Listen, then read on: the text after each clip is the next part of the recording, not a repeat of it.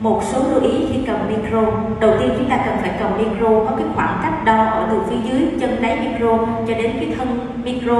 Là khoảng cách từ đây đến đây là tầm khoảng 10 cm ha. Khoảng tầm 10 cm chúng ta sẽ cầm ở khu vực này và bốn ngón tay của chúng ta phải khép lại.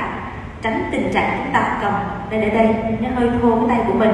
Và chúng ta cầm ở phía trên này thì sẽ không thấy được cái khóe miệng của mình. Nằm tay của chúng ta hơi bị thô, cho nên khi mà người ta chụp hình người ta sẽ thấy nó hơi ờ, bị mất cái điểm của chúng ta ha. Và khi mà nói chuyện thì cái micro ra cầm ở phía dưới này. Đó. Và cái khoe khóe miệng của mình cùng với khoảng cách của micro nó phải có một cái khoảng cách điểm giữa ở đây để chúng ta, khi nói chuyện người ta thấy được cái miệng của mình nó dễ thương, truyền tải được thông tin và chúng ta tránh tình trạng chúng ta sẽ cầm như thế này, nó sẽ không thấy được gương mặt của mình. Đó, và lưu ý chúng ta cần phải à, cầm ở phía dưới này.